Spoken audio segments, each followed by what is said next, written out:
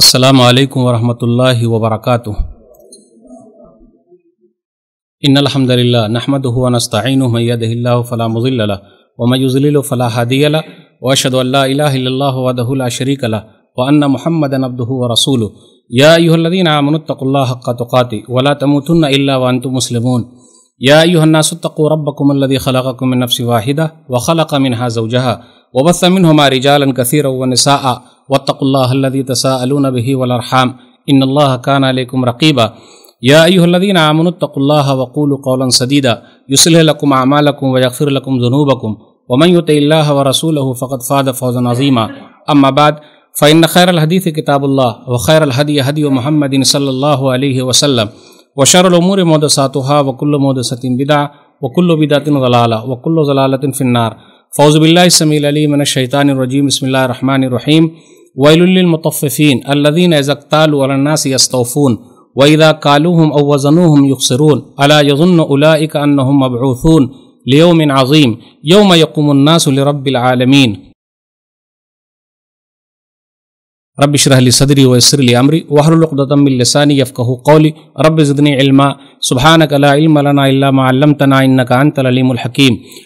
अलीमुल हकीम अल्लाहुम्म सल्लि अला मोहम्मद वाला आल मोहम्मद कमा सल्लैत अला इब्राहीम वाला आल इब्राहीम इन्नका हमीदुम मजीद अल्लाहुम्म बारिक अला मोहम्मद वाला आल मोहम्मद कमा बारकत अला इब्राहीम वाला आल इब्राहीम इन्नका हमीदुम मजीद मोहतरम सामीन कराम बुज़ुर्गों दोस्तों साथियों मैंने सूरह मुतफ़िफ़ीन सूरह नंबर तिरासी की शुरू की छः आयतें आप लोगों के सामने पढ़ी है।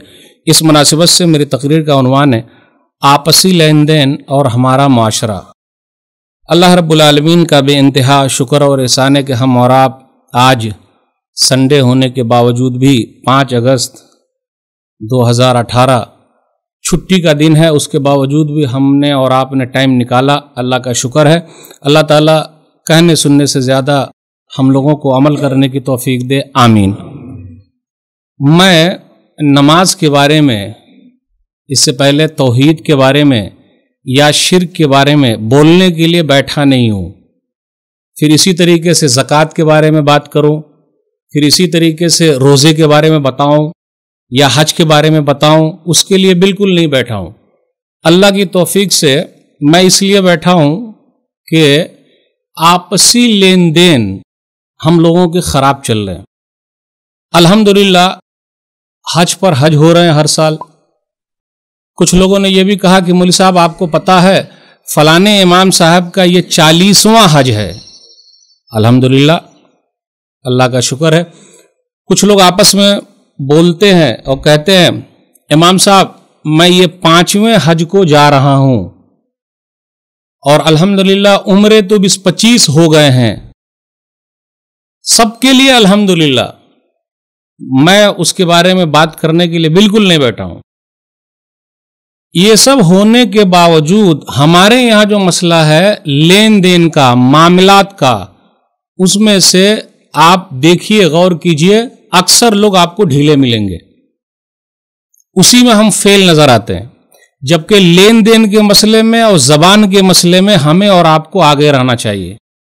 नमाज़ में अगर जरा बहुत ढीले हो गए तो अल्लाह का मामला है। अल्लाह से माफ़ी मांगेगा तो अल्लाह आराम से माफ़ कर देंगे इनशाला यही तो है रहमान और इंसान में फ़र्क है।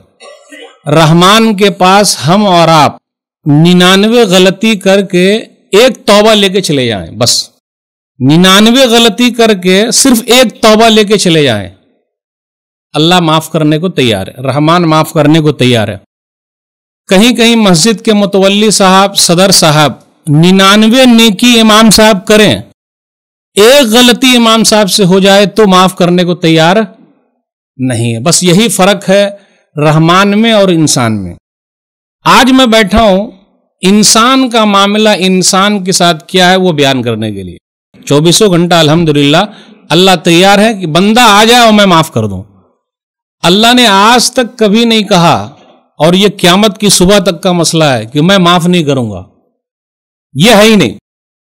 अल्लाह की रहमत हर एक को ढांपे हुए, हम गुनागारों को भी अल्लाह की रहमत नसीब हो जाए। दुआ करते रहिए, आमीन। मामलात, मेरे भाइयों, हमारे मामलात चाहे जैसे भी हों, जिस तरीके से भी हों, ढीले चल रहे आप किसी के बारे में कैसे बता सकते हैं कि यह बड़ा नेक है? क्यों? कुर्ता पैजामा देख के बोल देंगे, अल्हम्दुलिल्लाह, कुर्ता पैजामा पहनना अल्हम्दुलिल्लाह अच्छा जुब्बा भी पहन लीजिए और अच्छा अल्हम्दुलिल्लाह। पहली सब में नमाज़ भी पढ़ रहे हैं, अल्हम्दुलिल्लाह।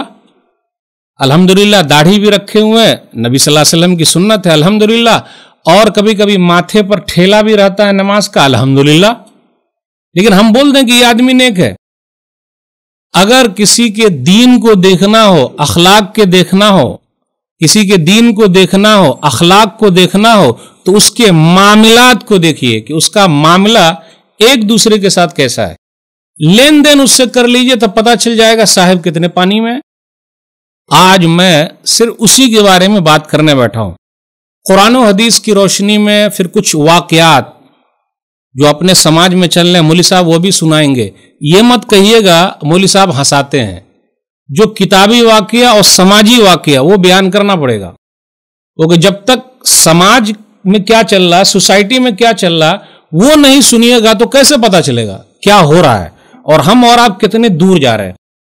आइए सबसे पहले देख लेते हैं नमाजी साहब रोजादार रोजेदार साहब, हाजी साहब, जकाती साहब। कल क्यामत के दिन क्या होगा और दुनिया में क्या हो रहा है उनके साथ? एक हदीस के अंदर आया, सही मुस्लिम किताब जका किताब नंबर बारह, हदीस नंबर एक हज़ार पंद्रह। अबू रजील्ला उस हदीस के रावी है। एक लंबी हदीस है, एक लंबी हदीस है कि नबी वसल्लम ने फरमाया, एक आदमी सफ़र पे है जो आदमी सफ़र पे जाते, हम और आप बोलते, भाई साहब, याद रखिएगा, मेरे लिए दुआ कीजिएगा। तो सफ़र में तो देख ही रहे, अगर तन्हाई मिल गई तो मोबाइल तो है ही, टाइम पास हो रहा। अगर उसके बदले कुछ दुआ करते रहते तो फ़ायदा होता। ठीक है भाई, जरा उसमें भी टाइम लगाइए तो दुआ भी करते रहिए। तो मुसाफिर की दुआ कबूल होती, और जो घर पे रहते उनकी भी दुआ कबूल होती। तो उसमें यह कहा गया कि एक लंबे सफ़र से आदमी आया और जा रहा लंबे सफ़र पे।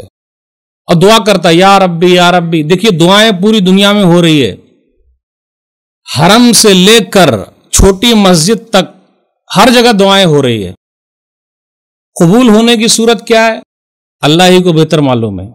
लेकिन इंशाला अगर सही है तो कबूल होगी। कबूल होने से पहले और दुआ करने से पहले मामला अगर सही है तो दुआ इंशाला कबूल होगी। अब इमाम साहब को भी बोलने की ज़रूरत नहीं, इमाम साहब दुआ मांगिए, हम लोग आमीन बोले। एक, मिल गया, क्या है? मामला सही कर लो। खाना हलाल कर लो, जो दुआ मांगो, जब मांगो, अल्लाह कबूल करने को तैयार है। क्या हम और आप अपने खाने को हलाल करने को तैयार हैं? ये सवाल। तो लंबे सफ़र पे एक आदमी है और वो दुआ करता या रब्बी या रब्बी, मेरे रब मेरे रब।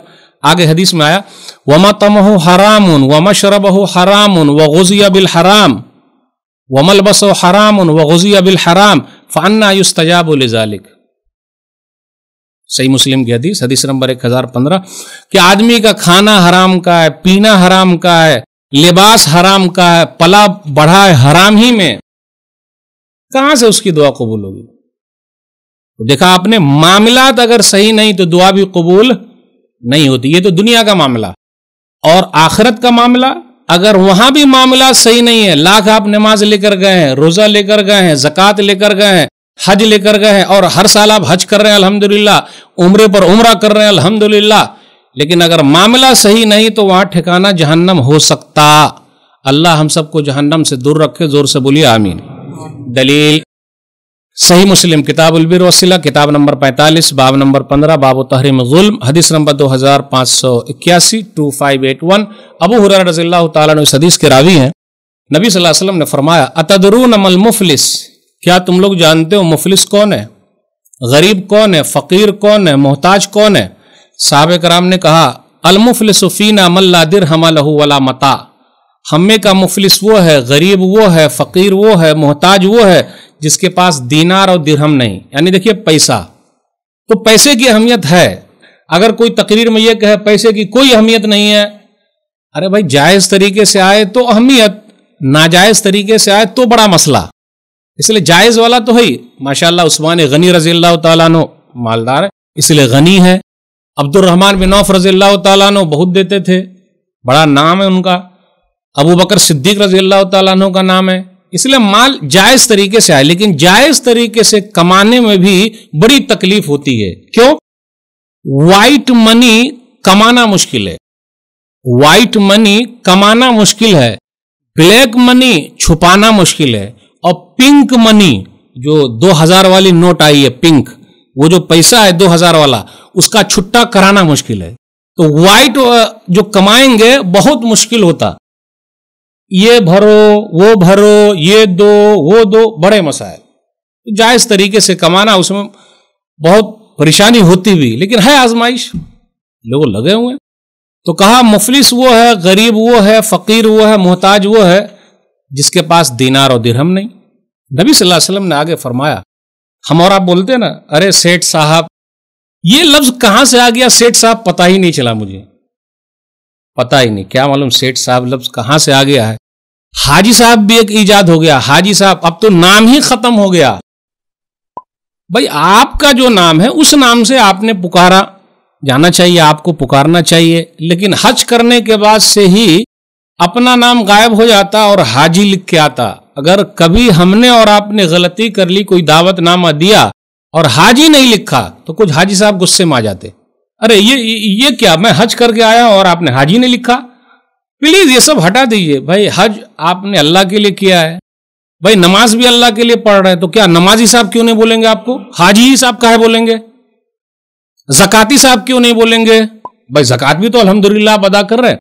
रोजा भी तो रखते हैं। रोजेदार साहब आ रहे हैं। तो आप लिख के देने का क्या आगे? लेटर में, रोजादार साहब को ये लेटर मिले।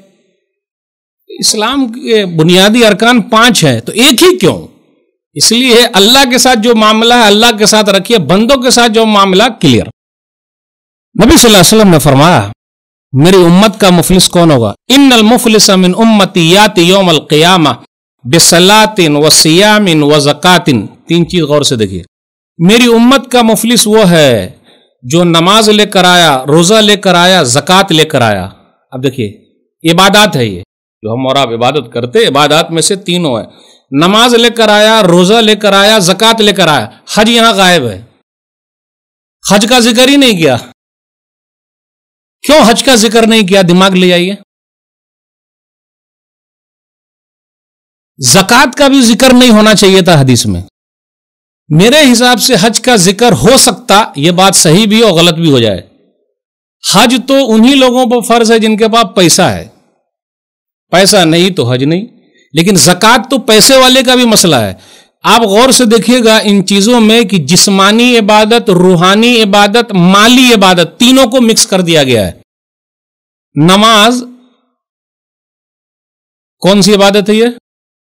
जिस्मानी। रोजा, रूहानी, क्योंकि अल्लाह ही दिन। अल्लाह और बंदे के दरमियान है। और जक़ात, माली इबादत, तीनों को मिक्स कर दिया गया है। ये इबादत है। तो बोले, ये लेकर आया। लेकिन साथ में पाँच चीज़ और लेकर आया है। वयाति कद शतम हाजा, व कजफ हाजा, व अकल माल हाजा, व सफक दम हाजा, व जरा बहाजा नंबर एक, किसी को गाली दिए। ये गाली का लफ्ज पहले क्यों है? क्योंकि मसला वहीं से खराब हो जाता। नंबर दो, इल्ज़ाम लगा दिया। फलाना ऐसा है, फलानी ऐसी है। अब देखिए खातन में भी वही चलता। बहू ऐसी है तो वो ऐसी है तो वो ऐसी है तो सास ऐसी है तो दिस है और डैट है। फिर आदमी लोग भी लगा देते, अरे, फलानी औरत ऐसी है तो वो ऐसी है। इल्ज़ाम लगाने से पहले चार गवाह चाहिए और चारों गवाह उस हालत में देखे। हदीस के हिसाब से मैं तशरी कर रहा हूँ। अपनी तरफ़ से नो एड। हदीस में क्या लिखा हुआ, जिस तरीके से कुएँ में डोल डाला गया हो, आदमी उस हालत में देखे। जिस तरीके से सुरमेदानी में सलाइड डाली गई हो, आदमी उस हालत में देखे और चार गवार रहे तो इल्ज़ाम और आज तक ऐसा कोई इस्लाम, इस्लामी दुनिया में साबित नहीं हुआ। नबी सल्लल्लाहु अलैहि वसल्लम के जमाने में ऐसा कोई केस नहीं आया। आज लोग देख लीजिए, लगा रहे इल्ज़ाम। इल्ज़ाम लगा दिया। उसके बाद क्या है? माल खाया। बहुत बहुत चल्ला, माल खाया। माल खाया। उसके बाद कत्ल कर दिया। उसके बाद मारा भी। आगे कहा जा रहा है कि जब ये सब चीज़ें हैं तो क्या होगा?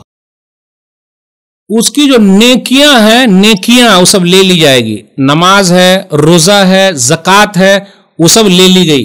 इनको दे दी गई। ये पाँचों लोग जो खड़े हुए हैं इनको गाली दिया, तोहमत लगाया, फिर माल खा लिया, पीटा फिर इसी तरीके से पीटने में भी देखिए आप लोग दबंगई करते हैं। कत्ल कर दिया तो ये सब है। इसलिए कहा, कद शतम हाजा, व कजफ हाजा, व अकल माल हाजा, व सफ़क दम हाजा, व जरब हाजा, फयूत हाजा मिन हसनात ही व हाजा मिन हसनाती फ़िन फ़नियत हसनात हो कबल युगजा मा अलई ओखज़ा मिन खताया हूँ फ़तोरियत अलई सुम मतोरिह फिन्नार। पूरी नेकी ले ली जाएगी। अच्छा आप पर इल्ज़ाम लगाया रोज़ा ले लीजिए। अरे आपको मारा, ले लीजिए जक़ात। अच्छा। आपके साथ कुछ हुआ, गाली बात दी, आइए लाइए लाइए लाइए, नमाज़ लाइए, रोज़ा लाइए, जक़ात लाइए सब ले लेंगे। ख़त्म, पूरी नेकी चली गई। देखा आपने? इबादत करके आए हैं, मामलात सही नहीं है तो अब का, क्या होगा? फिर भी लोग खड़े हुए हैं, ये पाँच तरह का जो मसला, लोग खड़े हुए हैं। तो अब क्या होगा? खड़े हुए हैं, लाइए लाइए, अपनी जितनी बुराई है, जो है आप लाइए, इनके ऊपर डाल देते हैं। तो नमाजी साहब, रोजादार साहब, जकाती साहब, सब पर डाल दिया गया और उनको घसीट के जहन्नम में डाल दिया गया। पता ये चला मेरे भाइयों के मामलात अगर सही नहीं है तो इबादत लाग अच्छे रहे अल्लाह भी माफ़ करने को तैयार नहीं है। जब तक बंदा ना माफ़ कर दे, अल्लाह अपने हक को माफ़ कर देंगे। अल्लाह माफ़ कर दे, लेकिन बंदे का जो मामला, जब तक बंदा ना माफ़ करे, कोई भी मसला नहीं। हल होगा ही नहीं। और हम और आप जो माल खा रहे हैं ना, या हम में से बाज भाई जो खा रहे हैं, मैं उनकी बात कर रहा हूँ, और हड़प कर रहे हैं और उस पर ज़्यादा ध्यान व्यान नहीं दे रहे हैं, और सब चलेगा, और इस इस उम्मीद में है एक हज आखिर में पढ़ लेंगे, पूरा पाप धुल जाएगा, जरा माल उल बना लेते हैं। लोगों को कहिए अरे भाई साहब, जवानी में हज कीजिए। अरे मौली साहब, आपको पता है ना, जवानी में हज करेंगे तो हज को बचा के नहीं रख पाएँगे, इसलिए जरा बुढ़ापे में करेंगे ताकि आराम से सब कुछ पाप धुल जाए। क्यों? फिर जाइएगा जो सही तरीके से अदा भी नहीं हो पाएगा, खुद चल भी नहीं पाइएगा तो दूसरे के सहारे चलिएगा। अरे जवानी में इबादत कीजिए। कर जवानी में इबादत काहिली अच्छी नहीं।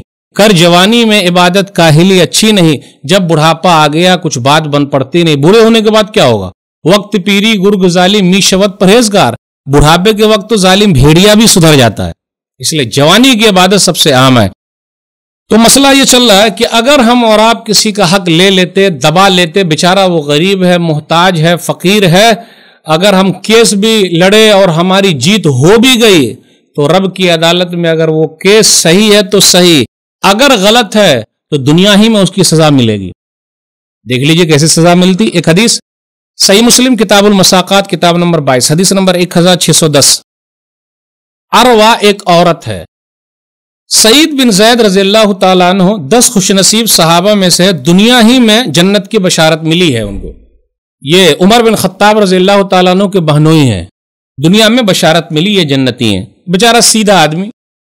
तमाम साहब, अल्हम्दुलिल्लाह, सीधे सादे सब लोग साहबियात भी, अल्हम्दुलिल्लाह, पारसा नेक लोग। लेकिन मसला कुछ हो जाता, क्या हुआ इंसानी नाइये से?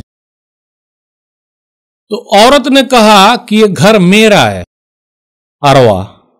जबकि वो घर किनका था? सईद बिन जैद रज़ी अल्लाह का था। आप गौर कर लीजिए, देहात में चले जाइए आप।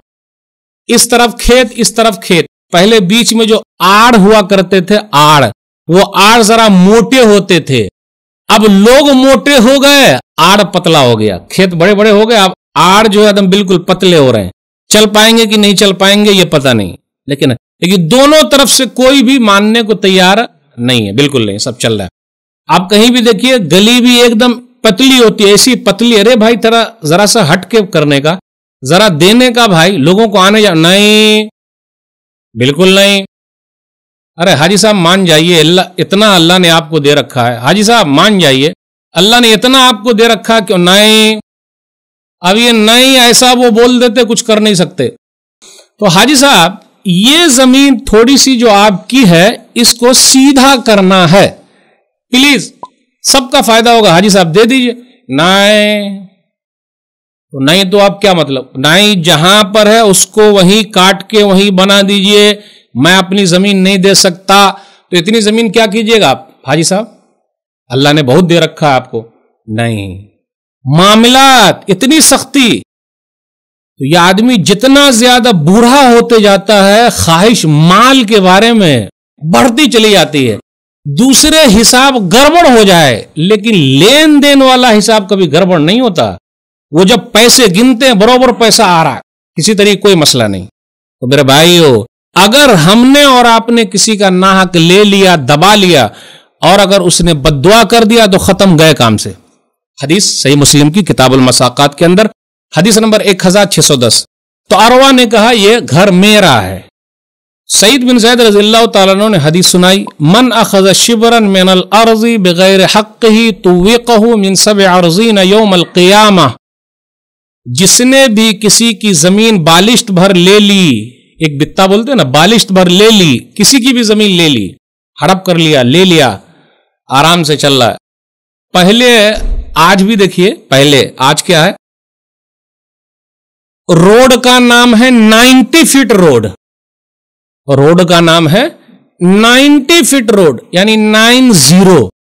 तो 90 फीट का मतलब होना चाहिए एकदम चौड़ा रहे वो नाइन फिट भी नहीं है। नाम है 90 फिट लेकिन वो नाइन फिट भी नहीं है।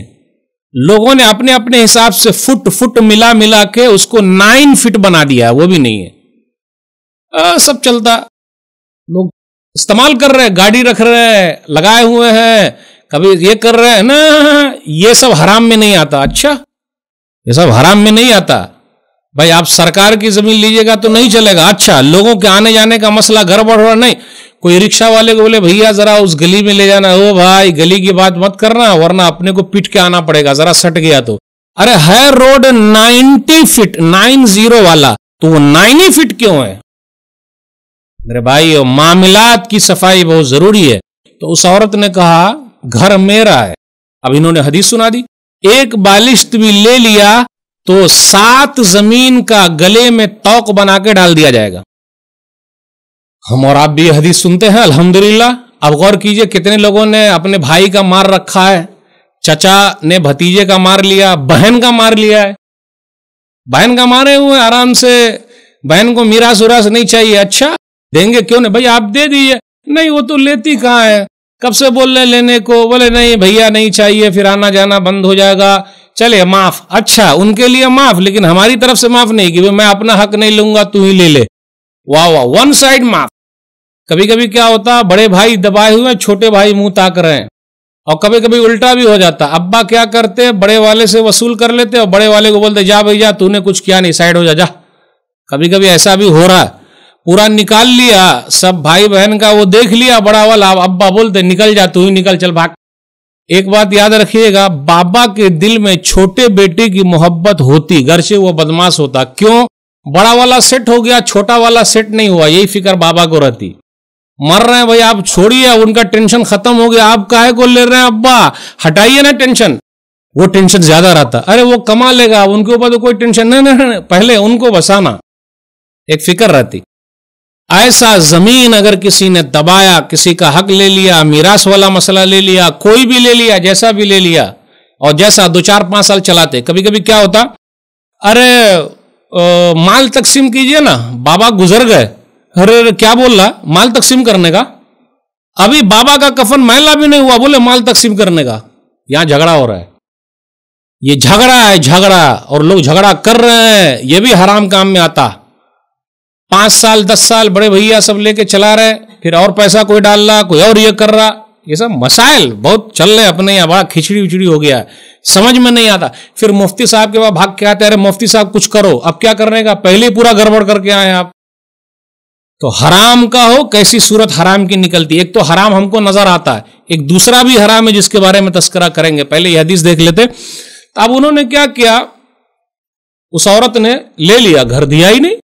नहीं दिया तो इन्होंने बद दुआ कर दी। अल्लाह इनकानत काजिबतन फ़ाइम बस रहा वजल कब रहा फीदार है अल्लाह, अगर ये औरत झूठी है तो इसको तू अंधी बना दे और इसके घर को इसकी कबर बना दे।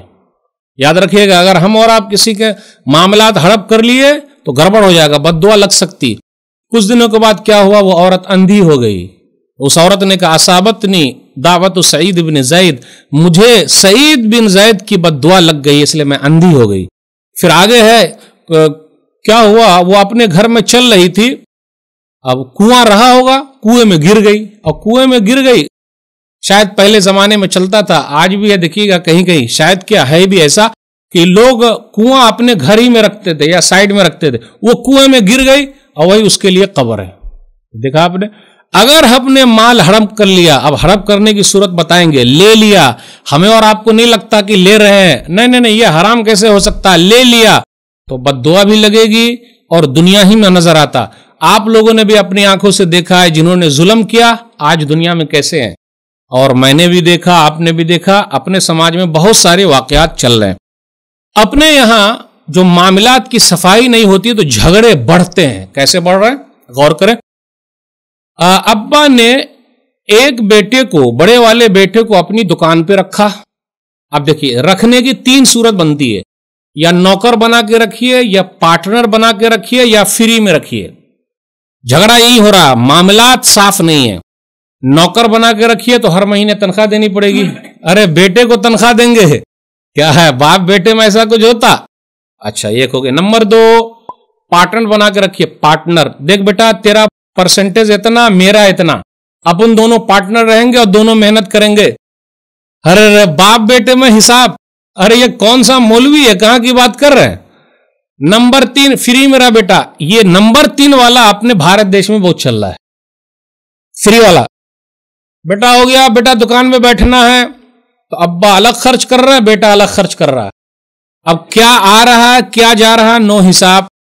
कौन कितना खर्च कर रहा नो हिसाब, कोई हिसाब किताब नहीं। लोगों को कहिए कि पूरे कुरान मजीद में सबसे लंबी आयत क्या है? तोहीद की है शिर की है, नमाज़ की है, रोज़े की है, जक़ात की है, हज की है। सबसे लंबी आयत कौन सी है? तोहीद वाली नहीं है, शिरक वाली नहीं है, रोज़े वाली नहीं है, जक़ात वाली नहीं है, हज वाली नहीं है, उम्र वाली नहीं है। लंबी आयत है मामले वाली है। देखिए, अल्लाह को तोहीद पसंद है, शिरक ना पसंद है, लेकिन अल्लाह ने दोनों के लिए लंबी आयत नहीं रखी। लंबी आयत किस लिए रखी? मामलात लेन देन साफ़। सुर बकरा सुर नंबर दो, आयत नंबर दो सौ बयासी। यादीन आमन तुम बिदैन नीला अजल मुसम्मन फक्तबू। लिख लो, जब लेन देन करो गवाह के साथ। अब ये तीन सूरत क्या? दुकान पे बैठा दिए।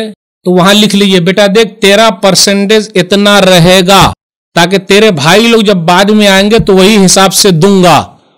अच्छा अब्बा जरा कर्ज दीजिए ना। अरे, ये ये क्या ये क्या? बाप बेटे में कर्जा अच्छा लिख लीजिए ना। अरे, अब्बा, मैं आपको पैसा दे रहा हूँ। घर बनाने में दे रहा हूँ, बाद में ले लूँगा। अब सबको अब्बा कहानी सुना रहे हैं। मैं पाल पोस के बड़ा किया। आज हमको बोल रहा है कि हम बाद में ले लेंगे। ये कैसा बेटा है? अपने समाज में ये सब चल रहा है। नहीं, कुरान मजीद की सबसे लंबी आयत है। बाबा, आज मैं दे रहा हूँ, बाद में ले लूँगा। मुफ्ती साहब फिर क्या करेंगे? कैसे मसले को हल करेंगे? यहाँ झगड़ा हो रहा देखिए कहाँ कहाँ झगड़ा होता? अब घर तैयार हुआ, अब्बा अलग पैसा लगा है बेटा अलग लगा रहा है। तो बेटा पैसा दे, अभी एक जगह मैं एक आध महीना पहले गया था, आज कितना है? पाँच अगस्त 2018 तो वहाँ ऐसा ही केस आया, भाइयों के दरमियान झगड़ेगा।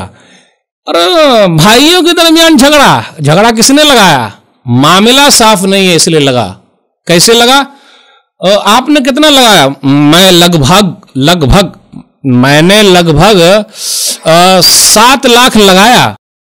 अरे जब आपने लगाया तो अब्बा को क्या बोल के लगाया? अब्बा से कुछ बोले कि अब्बा, अभी मैं दे रहा हूँ, बाद में ले लूँगा। बोले, वो तो जहन में नहीं था। अच्छा अभी मैं दे रहा हूँ, फ्री में दे रहा हूँ, क्योंकि तो मेरी हालत बहुत अच्छी है। अच्छा अभी मैं पैसा दे रहा हूँ, बाद में जब मीरास तकसीम होगा तो उसमें पहले मुझे उतना माइनस हो जाए, जो है सात आठ लाख, तब उसके बाद तकसीम हो। किस लिए पैसा दे रहे हैं? ये तीन सूरत बनती है। हम और आप इसमें एकदम नील चल रहे हैं। कुरान मजीद की सबसे लंबी आयत है, लिख लो। मामला साफ़ रखो, आपस में बैठ के बात करो, वरना भाइयों के दरमियान झगड़ा। नहीं, मुफ्ती साहब, हमको तो पता ही नहीं था पैसा किस लिए दे रहे थे। अरे, हर चीज़ का पता है और यहाँ नहीं पता किया, काहे नहीं पता किया, काहे झगड़ा करवाया। इसलिए मामलात की सफ़ाई ज़रूरी है, ऐसे ही। मैं पैसा अभी दे रहा हूँ, बाद में ले लूँगा। अब्बा चाहे खुश रहे या नाराज़ रहे अपने घर रहेंगे। अभी मैं पैसा दे रहा हूँ फ्री में दे रहा हूँ भाइयों से कुछ नहीं लूँगा। अल्लाह ने मुझे दे रखा मैंने घर बना दिया।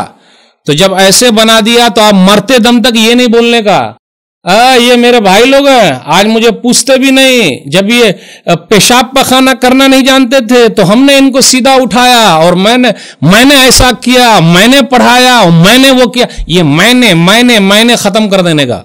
पहले दिन क्लियर करो, पैसा किस नियत से आपने देना। झगड़ा चल रहा अपने समाज में। लोग बोलते ये हराम नहीं है। अरे, ये कहे नहीं हराम है भाई?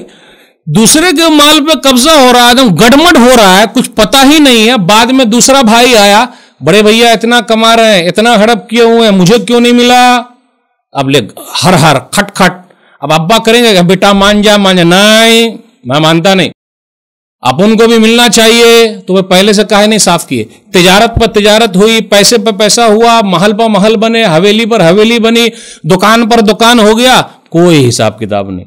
यही झगड़ा, ये भी हराम की एक सूरत है, जो अपने समाज में हराम नहीं लग रहा है। बोला, नहीं नहीं, मौली साहब, वो हराम क्या है? सूद खाना, अरे वो हराम क्या, रिश्वत लेना, वो हराम क्या, जो साफ़ तौर पे नज़र आए। ये सब क्या है? गड़मड़ लेके चलना तिजारत। कोई हिसाब किताब क्लियर नहीं, ये क्या है? इसलिए मेरे भाइयों मामला की सफ़ाई अगर नहीं होगी तो हम और आप कहीं के भी नहीं रहेंगे। इसलिए आपसी लेन देन मामले को हल कीजिए। दो चार मिसाल देकर मैं अपनी बात को खत्म करने की तरफ़ आऊँगा। हमारे यहाँ क्या हो रहा है? मामलात की सफ़ाई नहीं हो रही है। सबसे लंबी आयत, भाई लिख लो। कर्जा कब वापस कीजिएगा? अच्छा? अरे कर्जा कब वापस कीजिएगा? लिखिए ना। यही आयत कहती है लिख लो। कब दीजिएगा कर्जा? छह महीने में दे दूँगा। अरे कब दीजिएगा? एक साल में दे दूँगा। पीछे मत हटिएगा। पीछे मत हटिएगा। ठीक है भाई दे देंगे। अच्छा। हाँ, हाँ हाँ। दोस्तों में लिखना। अरे दोस्ती कब काम आएगी? आज मैं पैसा ले लिया तो बोले लिख लो। कितना बुरा लगता है। अरे नहीं नहीं नहीं। किसी और के सामने नहीं बोलने का। मैंने कर्जा लिया। भूलने का नहीं। ये मेरा और तेरा मामला है। कुरान करीम की आयत कहती है, लिख लो और गवाह भी रखो। क्यों? आगे मसला हो सकता और मसाइल पैदा हुए। कौन सा पैसा? अरे भाई साहब, मेरा पैसा कब लौटा? अरे कौन सा पैसा? किस पैसे की बात कर रहे हैं आप? कब आपने दिया था? अभी मैं हाँ कल ही कल ही, कितना? चार अगस्त 2018 कल ही। एक दुकान पे था। दुकानदार ने कहा, मुली साहब, मुझे रमज़ान में अच्छा चूना लग गया।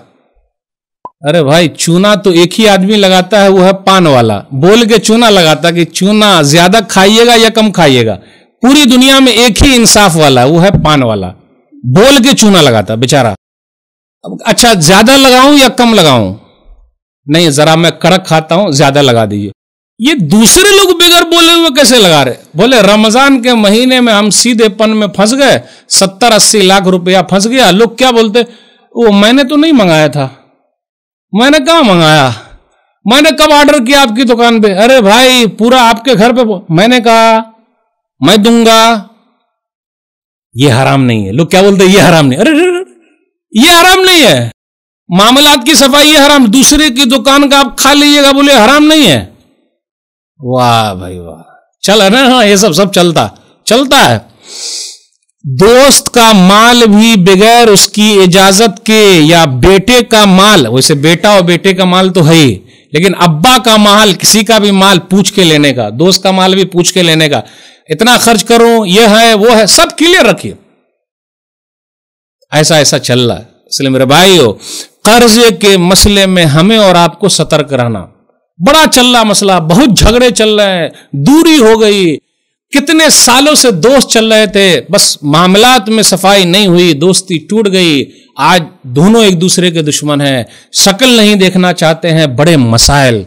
इसलिए मामलात को लिख लीजिए। थोड़ी सी तकलीफ़ होती है ये बात सुनने में, अरे बोल बोलने लिख लेने का। तकलीफ़ है, लेकिन ये अच्छा रहेगा। परेशानी नहीं बढ़ेगी, इसलिए मामलात की सफ़ाई। एक बात याद रखिए इतनी अहम चीज़ है ये सफ़ाई और कर्जे का लेन देन और वक्त का पूरा करना और देना। हम और आप कर्जा ले लेके महल बना रहे हैं। अल्हम्दुलिल्लाह। अब्बा ने भी पैसा लगाया, बेटे ने भी पैसा लगाया और बेटा और पैसा लेकर आया, कर्जा लेकर आया, महल तैयार हो गया। तो अब्बा बोले, अम्मी बोले, अरे किसने कहा था कर्जा लाने को? तो भाई, हमारा कर्जा तो हम नहीं चुकाना। ना अब्बू चुकाएँगे, ना अम्मी चुकाएँगे, ना भाई चुकाएगा, कोई तो चुकाने वाला है नहीं। आपने लिया तो आप, आपने किसके लिए किया? भाई लोग आराम से रहे, भाई सब लोग आराम से रहे, अब्बू अम्मी आराम से रहे, एक आदमी को फ़िक्र, दूसरे को फ़िक्र ही नहीं। किसने कहा था?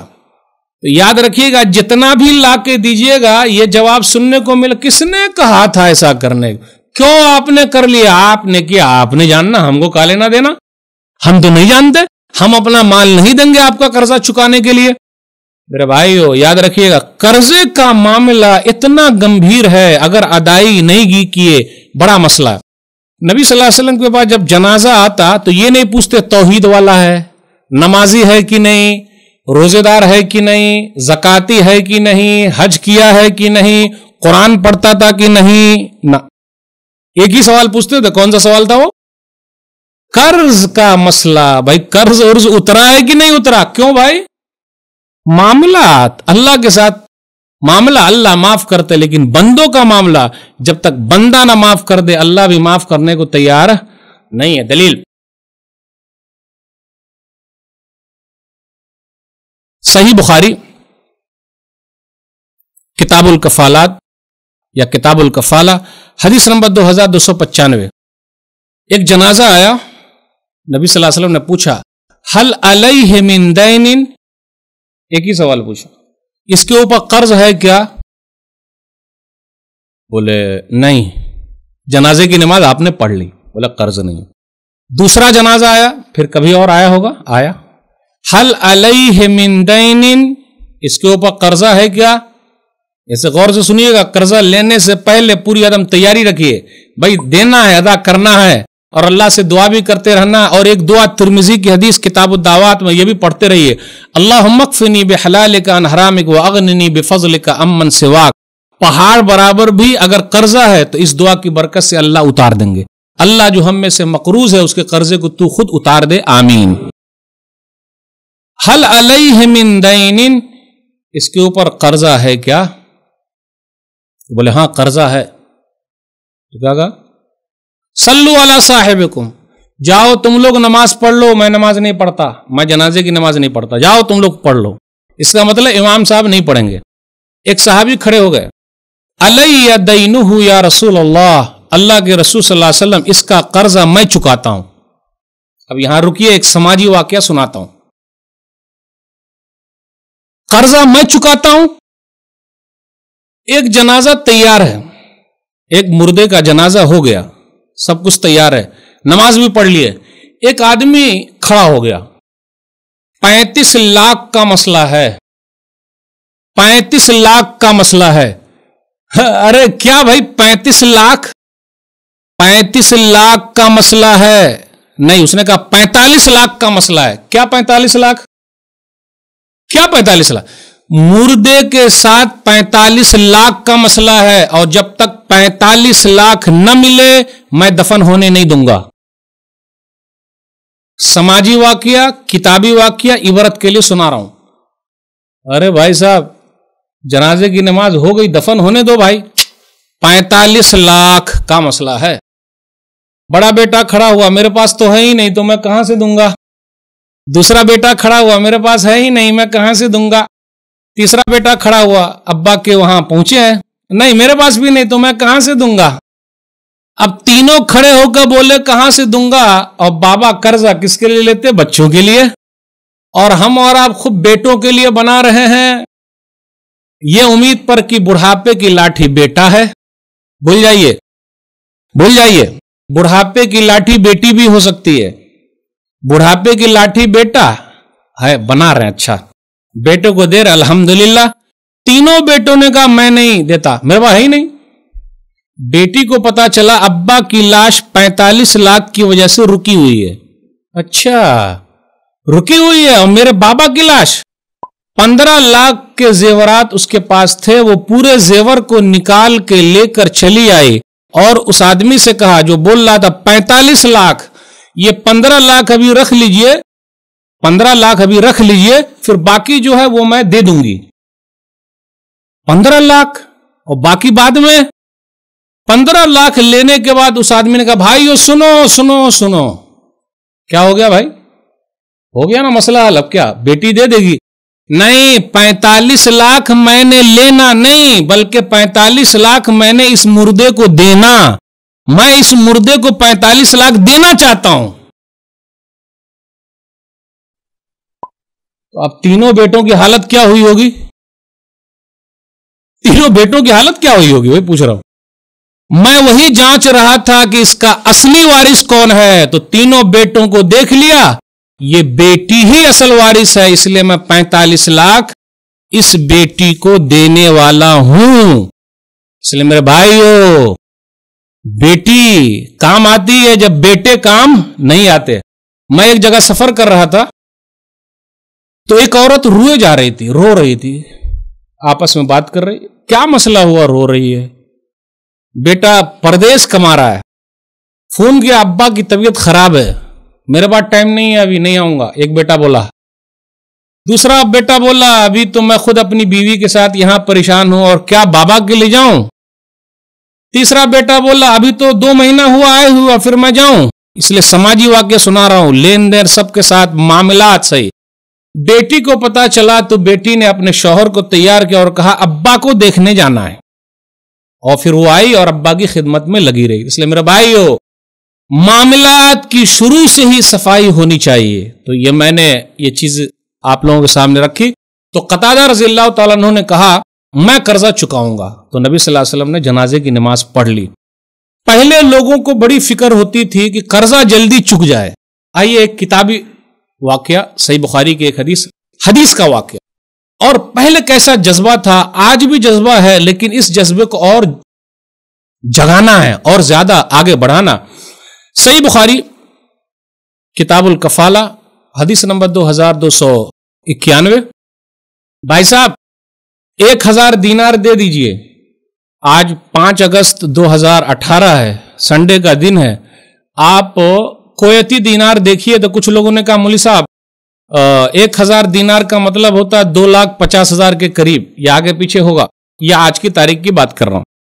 भाई साहब, एक हज़ार दीनार लाइए। अरे यार, ये है परदेसी और हमसे एक हज़ार मांग रहा है। पहचान वाले को तो देने में जरा हम और आप एक आध दो मरतबा दे देंगे। देखिए, रहमान में और इंसान में यही फ़र्क है। एक मरतबा और मैंने दोनों में फ़र्क बताया, अभी फिर बता रहा हूँ। भाई साहब, कर्जा दीजिए ना। हाँ ठीक है, ले लीजिए, माशाल्लाह। फिर जरा दूसरे दिन मांगे, अरे यार, पहली मरतबा दे के गलत किया, फिर आ गया। उससे ऊपर वाले से ना मांगेगा तो नाराज़, नीचे वाले से मांगेगा तो नाराज़। भाई साहब, एक हज़ार दिनार दे दीजिए। तेरा गवाह कौन है भाई? कफा बिल्ला ही शहीदा, अल्लाह को मैं गवाह बनाता हूँ। अल्लाह के नाम पे बहुत मिलता है, अल्हम्दुलिल्लाह। लेकिन वो दूसरी हालत बनेगी, तब मिलेंगे। अल्लाह के नाम पे, अल्लाह के नाम पे। वो अलग चीज़ है। क्या तासीर है उसके अंदर? माशाल्लाह, आज भी सर्वे किया गया है। अल्लाह के नाम पे बहुत मिलता है, चाहे कोई भी आ जाए मांगने के लिए, अल्हम्दुलिल्लाह। तो भाई, गवाह कौन है? कफा बिल्ला ही शहीदा। मैं अल्लाह को गवाह बनाता हूँ। अच्छा भाई, गारंटेड कौन है? अब मैं एक हज़ार दिनार तो दे रहा हूँ, लेकिन दिलवाएगा कौन? बीच में तो कोई ना तो चाहिए, कोई ना कोई तो बीच में चाहिए जो दिलवा दे। कफा बिल्ला ही कफीला, मैं अल्लाह ही को गारंटेड बनाता हूँ। अल्लाह आपका पैसा दिलवा देंगे। अल्लाह के नाम पे मुझे दे दीजिए। ठीक है भाई, आप एक हज़ार दिनार ले जाइए, लेके चले गए। कब दीजिएगा? फलाने दिन वापस करना। ठीक है? अब उस जमाने में मोबाइल फ़ोन तो था नहीं। तो बेचारा समुंदर पार करके, ये बुखारी शरीफ की हदीस सुना रहा हूँ, लंबी हदीस है। समुंदर पार करके इस पार से उस पार चला गया। और जिस दिन लेने की बारी आई तो ये बेचारा इंतज़ार में है। और ये इंसानी फितरत है कि जब पैसा कहीं से आने का रहता है तो सौ डिग्री बुखार भी वो कुछ बीच में हायल नहीं होता। जल्दी से हम और आप देने वाले से पहले पहुँच जाते। इल्ला माशाल्लाह कहीं। क्योंकि मन आ, क्या नाम है जब मन सही रहेगा तो सब कुछ सही रहता है। आ, तो इंतज़ार में वो खड़ा रहा इस तरफ़ कि भाई मेरा पैसा आ रहा है आ रहा है आ रहा है। उस दिन कश्ती नहीं आई। आई नहीं कश्ती। कश्ती चली नहीं हो सकता कुछ हो गया होगा। नहीं हुई। तो अब बेचारा पैसा लेकर उस तरफ़ खड़ा हुआ है और जिसका पैसा है वो इंतज़ार में खड़ा हुआ अब पैसा आएगा वो कर्ज वाला लौटाएगा। दोनों तरफ़ दोनों खड़े हुए हैं।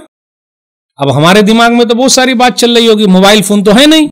मोबाइल रहता तो एक फ़ोन कर देते। व्हाट्सएप पे अब फ़ोन भी तो बंद होता जा रहा है। व्हाट्सएप पे भी अब बंद, अब कुछ है ही नहीं। जबकि बहुत बड़ी आसानी हो गई। तो कुछ ना कुछ लिख देते, भाई, नहीं आऊँगा। कर्जा जब वापस करना हो तो बार बार फ़ोन कीजिएगा तो कभी कभी फ़ोन ही स्विच ऑफ़ हो जाएगा और अक्सर स्विच ऑफ़ रहता है। मिलता ही नहीं। वक्त पर जब लेना था तो शीशे में उतार लिया और जब देने की बारी आई तो वाह भाई वाह, कहा? नहीं, मोबाइल जरा खराब हो गया था। ठीक है भाई, सही में खराब हुआ तो अच्छी बात है बना लीजिए। और अगर इधर उधर के लिए खराब हुआ है तो जरा संभाल के। तो क्या हुआ? ओ आए आए नहीं। उधर वो पैसा लेकर खड़ा हुआ, इधर पैसे के इंतज़ार में ये खड़ा हुआ, कश्ती आई नहीं तो पैसा आएगा कैसे? बेचारा इंतज़ार में खड़ा रहा और देखिएगा, पैसे जब लेने की बारी आती है तो उस वक्त ज़्यादा इंतज़ार भी चलता है, क्योंकि पैसा आ रहा है। प्रधानमंत्री जी ने अपने भारत देश में, आप देखिए 8 नवंबर 2016 को 500 और 1000 के नोट पर बैन लगा दिया। तीन चार दिन तक बैंक के सामने खड़े रहे। सौ से ज़्यादा लोग मरे। जान दे सकते हैं, लेकिन पैसवा नहीं दे सकते, चाहे जो भी हो जाए। और लोगों ने अपनी जान दे दी, खड़े रहे। दूसरे लोगों ने पानी भी पिलाया लेकिन हटे नहीं। अब वही है कि इमाम साहब अगर एक मिनट लेट आएँगे तो बार बार ताकते रहेंगे। वहाँ ढाई तीन दिन तक खड़े रहे कोई नहीं ताका। भाई पैसा आ रहा है ये इंसानी फितरत है को, कोई चीज़ आ रही है। अब ये इंतज़ार में खड़ा रहा खड़ा रहा शाम का वक्त हो गया कश्ती आई नहीं वो आदमी आया नहीं। अच्छा लगाया चुना लगा दिया क्या आया नहीं। चले एक लकड़ी बहती हुई जा रही थी उसको उठा लिया। तो लकड़ी को उठा लिया इस नियत से कि बीवी को खाना पकाने में काम आएगा, बीवी के लिए। माशाल्लाह, आज भी लोग अपनी बीवियों का ख्याल रखते हैं, अल्हम्दुलिल्लाह, लेकिन और अच्छा रखेंगे तो फ़ायदा। यह अलग बात है कि नाशुक्री भी बढ़ती जा रही है। अब खैर नाशुक्री करेंगे तो अल्लाह से समझेंगे शुक्र गुजारी करेंगे तो और फ़ायदा। तो वो लकड़ी लेके आ गया। घर के अंदर जब आया, लकड़ी लेके पहुँचा तो खाना पकाने का जब वक्त आया तो लकड़ी को उसने काटा। और लकड़ी को काटा, इसका मतलब बीवी के लिए तैयार करके भी देना चाहिए कभी कभी अब ऐसा नहीं, तू अकेले पकाती रह, नहीं, जरा मैं भी कुछ कर देता हूँ। तो काट के दिया तो बीच में जो है एक हज़ार दीनार निकला। अब एक हज़ार दीनार निकला तो उसके दिमाग में ये थोड़े ना होगा कि उसी ने भेजा होगा। अब मिल गया तो मिल गया, खत्म, है वो। कुछ दिनों के बाद उस साहब को कश्ती मिल गई, और जब कश्ती मिल गई तो दोबारा एक हज़ार दीनार लेकर पहुँचे। भाई साहब अब हालत क्या हुई होगी? देखिए, मैं आया था पहली मरतबा, लेकिन मसला क्या हुआ? कश्ती मिली नहीं, इसलिए मैं उधर ही रहा। और क्या करूँ? मैं आप तक नहीं आया। अब कुछ ना कुछ कहा होगा वो। माफ़ कीजिएगा, ये है, वो है। पूछा, भाई साहब कभी, भाई साहब, कभी आप लकड़ी में घुसा के एक हज़ार दीनार भेजे थे क्या? तो क्या आपको मिल गया क्या? बोले, हाँ, मुझे मिल गया। आपने एक हज़ार दीनार मुझे दे दिया। क्योंकि अल्लाह को गवाह बनाया था तो अल्लाह ने पहुँचा दिया। ये एक हज़ार दीनार जो अभी आप लेकर आए उसको लेके चले जाइए। हम और आप होते तो? और अच्छा इशारा पहले ले लेते, वो आप ही का था क्या? चल भाई, आने दे। इसको भी आने दे भाई एकदम आराम से। पता ही नहीं चलने देते कि ये दोनों, वही एक आदमी का है। और आराम से हजम कर ले जाते। कितना होशियार हूँ मैं। होशियार है? कितना होशियार हूँ। माशाल्लाह, ये भी आ गया, वो भी आ गया। सब कुछ चल रहा अल्हम्दुलिल्लाह, बहुत पैसे आ जाए। अल्लाह बरकत खत्म कर देंगे। अगर मामलात हमारे गड़बड़ रहे, लाख पैसा आता रहे, दुकान बहुत चलती है, बरकत खत्म है। इसलिए मेरे भाइयों, मामलात की सफ़ाई और लोगों के साथ जो लेन देन हमने किया है, उसकी सफ़ाई के लिए आगे बढ़ना ज़रूरी है। बस दो चार मिसाल देकर और मैं अपनी बात खत्म करूँगा। हमारे ताल्लुकात इमाम साहब से भी अच्छे नहीं है, इल्ला माशा अब आप लोग बोलिएगा कि भाई मुली साहब ऐसा काहे बोल रहे हैं? हमारे ताल्लुकात मोजिन साहब के साथ भी अच्छे नहीं है, इल्ला माशा खादिम साहब के साथ भी हमारे ताल्लुकात अच्छे नहीं है। और मुझे जरा किताबी वाक्य भी सुनाने दीजिए। अगर असर कर जाए तो मेरे लिए भी फ़ायदा, इसलिए मैं अपने लिए पहले बोल रहा हूँ। और जो जो वाक्य हुआ है वो बता रहा हूँ। एक इमाम साहब सफ़र करके गए, तेरह सौ रुपया खर्च हुआ जुमा पढ़ाने के लिए गए। सामने वाले ने एक हज़ार रुपया दिया, मस्जिद वाले ने, गौर से सुनिएगा। लेकिन उस मस्जिद की परंपरा यह है कि वो लोग पाँच सौ देते हैं, लेकिन दिया एक हज़ार तो 500 एक आदमी ने एक हज़ार में से अपनी तरफ़ से दे दिया। तो मस्जिद के जिम्मेदार ने फ़ोन करके कहा कि मोली साहब, हम लोग तो पाँच ही सौ देते हैं। आपको किसी ने पाँच सौ एक्स्ट्रा दे दिया है तो वो पाँच सौ हमको वापस कर दीजिए। तो वो फ़ोन करके गए और पाँच सौ रुपया वापस लेके आ गए। खर्च हुआ तेरह सौ, मिला था झटके में एक हज़ार, उसमें भी पाँच सौ फ़ोन करके ले गए, बचा कितना तेरह सौ में से? पाँच सौ रुपया बचा। ये सच्चा वाक्य है, नाम नहीं बोलूँगा। जल्द ही यह वाक्य हुआ है। क्या बताऊँ? इसमें कुछ हम लोगों की भी गलती है। जो लोग इस दावती मैदान में हैं और जूनियर और सीनियर का भी मसला चल रहा है। कुछ लोग बोलते हैं, हम तो वो हैं कि हम पैसा नहीं लेते। यह अलग बात है कि आप रियाल और दीनार और दिरहम खा रहे हैं। और जो बेचारा कुछ नहीं खाता तो ये बोल बोल के उनकी अहमियत को घटा रहे हैं क्योंकि वो हमसे जूनियर है। लोग तकरीर में बोलते हैं, कुछ लोग जो अच्छा पैसा कमा रहे हैं, उठा रहे हैं और खा रहे हैं। देखिए, लोग पहले से फिक्स कर लेते हैं, अरे भाई, दो चार दस लोग होंगे, गिन लीजिए उसको, लेकिन 99 जो है, या 90 जो है, या 80 जो है, बेचारे को कुछ नहीं मिलता, जो मैंने वाक्य सुनाया एक वाक्य सुनाओ कई वाक्यात हैं। जगह का नाम नहीं लूँगा, क्योंकि ये रिकॉर्डिंग हो रही है। इमाम साहब से, इमाम साहब से वहाँ के जिम्मेदारों ने माफ़ी नामा लिख के लिया है। क्यों भाई? हो सकता है बेचारे के साथ कोई तकलीफ़ रही होगी और जिम्मेदारों को बोले बगैर मस्जिद का पैसा अपने घर भेज दिया हो। इस उम्मीद पर कि मुझे जो तनख्वाह मिलेगी मैं दे दूँगा। शायद। आपने भेजा क्यों? ये मस्जिद का चंदे का मसला है। माफ़ी नामा लिख के दीजिए और आपका ये आखिरी दिन है। बात यहाँ तक सही है। यहाँ तक बात सही है। मैं मान लिया। लेकिन यह बात कैसे सही है कि उस माफ़ी नामे को व्हाट्सएप पर भेज दिया जाए ताकि अपने मोली साहब की बेइज्जती हर जगह हो? क्या यह बात सही है? भाई, अगर कोई मामला है बेचारे के साथ तो जरा बैठ के भी पूछ सकते हो सकता है कि आपके माँ बाप का कोई मसला हो, इमाम साहब बाल बच्चे का मसला हो, आपके घर पे कोई परेशानी हो, आपने मुझसे नहीं पूछा और आपने पैसा भेज दिया, ठीक है, कोई मसला नहीं, चलिए हम लोग बैठ के हल कर लेते हैं। लेकिन लेकिन लिखाना, यहाँ तक मैं मान गया, और लिखी हुई चीज़ को व्हाट्सएप पे डालकर बेइज्जत करना, कहाँ तक ये बात सही है? यह भी सच्चा वाक्य नाम नहीं लूँगा। मामलात, कैसे मामलात? एक और वाक्य सुनाता हूँ। बांगी साहब, अरे अच्छी आवाज़ में अजान दीजिए। मोहसिन साहब, क्या आवाज़ में आप अजान दे रहे हैं?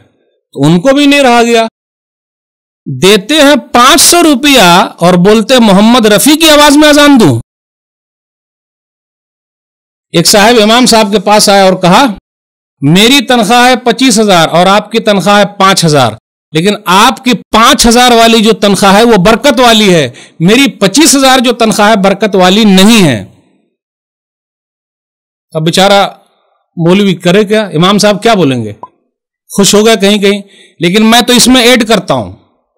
देखिए भाई साहब, आपकी तनख्वाह बगैर बरकत वाली है, पच्चीस की हमको दे दीजिए और मेरी पाँच बरकत वाली आप रख लीजिए। और हर महीने की पहली तारीख को मैं आपको दे दिया करूँगा बरकत वाली। और जो बगैर बरकत वाली है, हम तक पहुँचा दीजिए। रमज़ान का महीना गुजरा। कुल मस्जिद वालों ने व्हाट्सएप पे लिखा, उसका दूसरा माना लिया। दोनों माने हो सकते। भाई, यहाँ जिस मस्जिद का वाक्य हो सकता, जगह का नाम नहीं लूँगा, बस वाक्य सुना रहा कितना हमारे यहाँ माशा अल्लाह हाफिज साहब को एक लाख पच्चीस हज़ार दिया गया है, तरावी का। सुबहान अल्लाह सुबहान अल्लाह। मक्का के इमाम साहब को कितना मिला है भाई? उन्होंने कभी डिक्लेयर किया? बोलने दीजिए। अरब के ओलमा जक़ात निकालते हैं और अपने यहाँ के ओलमा जक़ात कहाँ निकाल पा रहे निकाल पा रहे बेचारे इल्ला माशाल्लाह। मुतवली साहब का खुद का मकान है, इमाम साहब का। बोलिए, इमाम हरम का मकान है कि नहीं? शेख अब्दुल सुदेश का खुद का मकान होगा? है क्या? आपको कैसे मालूम भाई? बोले है। शेख शुरैम का खुद का मकान है? क्यों? वो लोग खुद के मकान में क्यों रहेंगे भाई? वो तो इमाम है। खुद के मकान में क्यों रहेंगे? उनको किराए के मकान पर रहना चाहिए। हो सकता क्या ऐसा? क्या इज़्ज़त है? क्या मकाम है? और हमने और आपने अपने उलमा का मकाम कैसे घटा करके रखा है? मैं सबकी बात बिल्कुल नहीं कर रहा हूँ। और मैंने कहा ना कभी साहब हाजिर नहीं होते एक आध दिन अगर आ गए तो घड़ी पर ही इंतज़ार। इमाम साहब एक मिनट लेट काहे हो गए, और खाने की दावत पर अगर हम और आप गए किसी के यहाँ, खाना आ रहा है, कभी कोई शिकायत? घंटा भी लग जाए आराम से, और पैसे के लिए तो मैंने कहा, ये दो चार दस दिन लाइन लगा है आराम से, कोई शिकायत नहीं, पैसों आ रहा है। मेरे भाइयों मामला प्यारा रखिए हरक के साथ। तो आइए पहले नौकर से शुरू करते हैं। हमारे यहाँ लोग काम करते हैं, बड़ी बेइज्जती हो रही है। ऐसा लग रहा हम बादशाह बने बैठे हैं। जी नहीं, अल्लाह ने आपके मातहत जिसको रखा है, चाहे घर के अंदर औरत रहे, आपकी बीवी, आपके बाल बच्चे जो भी, सबका ख्याल रखना। ज़रूरी है कल क्यामत के दिन पूछा जाएगा। वक्त जब हो जाए, तनख्वाह दे देना, क्योंकि उसके माँ बाप इंतज़ार में होंगे या उनको कहीं भेजना होगा। लेकिन लोग कई कई महीना तक रोक हुए हदीस के अंदर क्या आया? सुनन बिन माजा, किताब और रहून, किताब नंबर 16 हदीस नंबर दो हज़ार चार सौ तैतालीस टू फोर फोर थ्री आतुल अजीर अजरहु कबल आरकु अब्दुल्ला बिन उमर रजील्ला से रिवायत है कि नबी वसल्लम ने इरशाद फरमा लोगो, अपने मजदूर की मजदूरी दे दो, पसीना सूखने से पहले।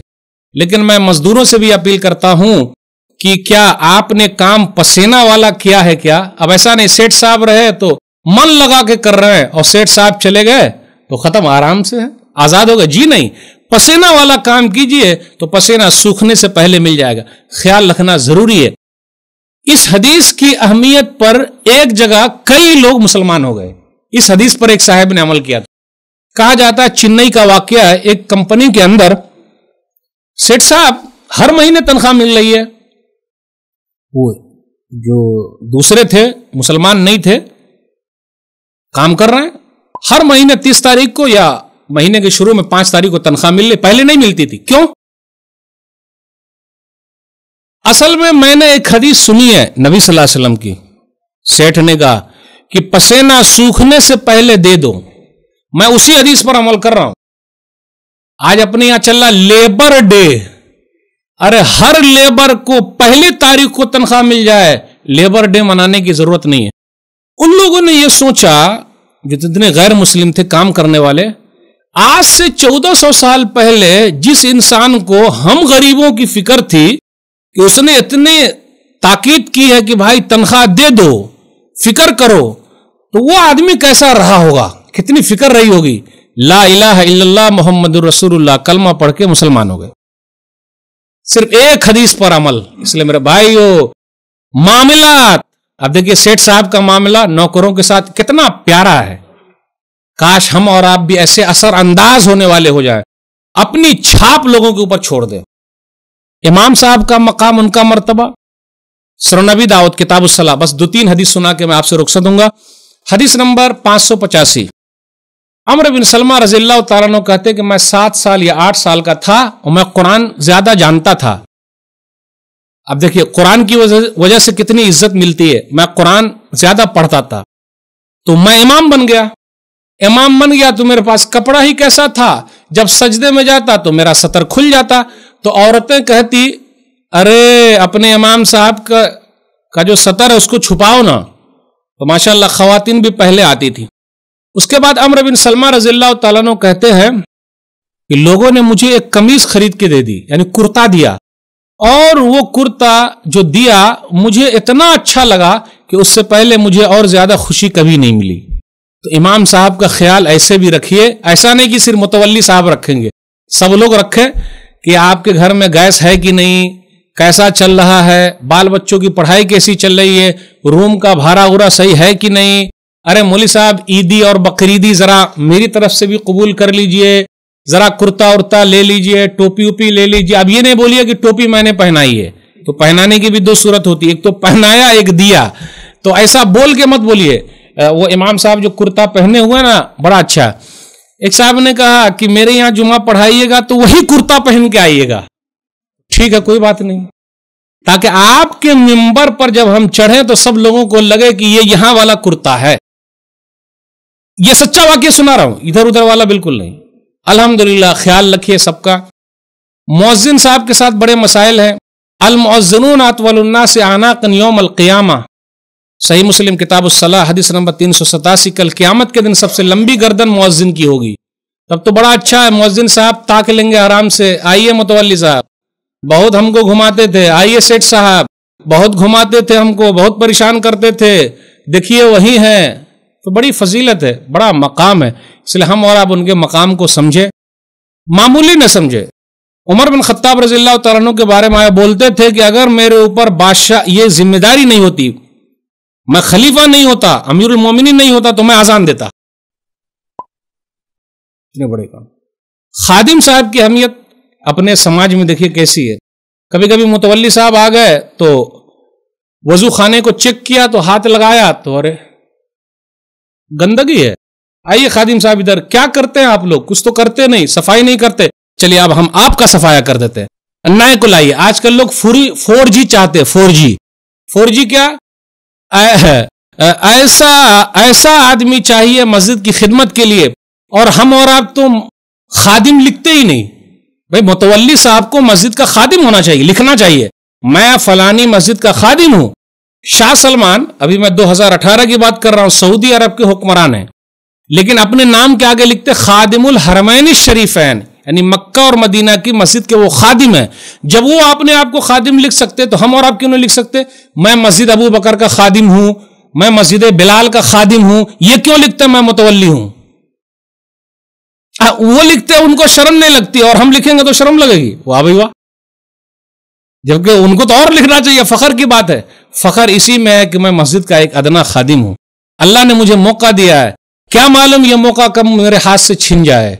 इसलिए मौके को गनीमत जानिए या कुछ कीजिए। खादिम साहब, उसकी भी बड़ी अहमियत हदीस के अंदर आया बस ये आखिरी बात बयान करके आपसे रुखसत दूँगा सही बुखारी किताबुल जनाज हदीस नंबर एक हज़ार तीन सौ सैंतीस। मा फ़ाल कल इंसान? वो इंसान कहाँ गया? कहाँ है वो? या वो औरत थी, काली औरत या इंसान? इसका मतलब मस्जिद की खिदमत औरत भी कर सकती है। कहाँ है वो? मात, उनका इंतकाल हो गया। अफला आज़म तुमूनी तुम लोगों ने मुझे क्यों नहीं बताया? दुल्लूनी अला कब्र ही उससे पहले आया फहक फहकर शाना। उन लोगों ने उनकी शान को हकीर जाना। चलो, कबर बताओ, कहाँ उनकी कबर? तो नबी सल्लल्लाहु वसल्लम कबर पर आए और नमाज़ पढ़ी। तो पता ये चला, जनाजे गायबाना कबर पर जाके पढ़ सकते। इस हदीस से पता चला, वहाँ नमाज़ पढ़ी।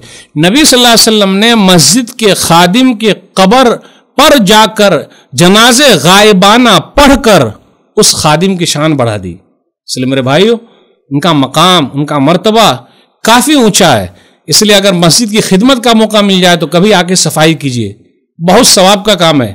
हर एक के बस की बात नहीं है, लेकिन जो अपने आप को लगाए हुआ है, एक बड़ा अच्छा काम, क्योंकि इतनी शान ऊँची है। कल क्यामत की देखिएगा, उन लोगों की शान कितनी ऊँची है। बारह साल तक जिसने भी अजान दे दिया तो उनका मकाम मरतबा काफ़ी ऊँचा है। जन्नत उनके लिए फिक्स है, इसलिए मैं मोहजिन साहब से भी कहता हूँ, खादिम साहब से भी कहता हूँ, तकलीफ़ ज़रा उठा लीजिए। आपके लिए तो फ़ायदा ही फ़ायदा है। तो ये चंद बातें मैंने आपके सामने रखी, मेरे भाइयों। हमें और आपको हर एक के साथ मामलात साफ़ रखना, वरना इबादतों का ढेर लगा रहे और मामला ही साफ़ ना हो तो गड़बड़ी हो सकती अल्लाह से दुआ है।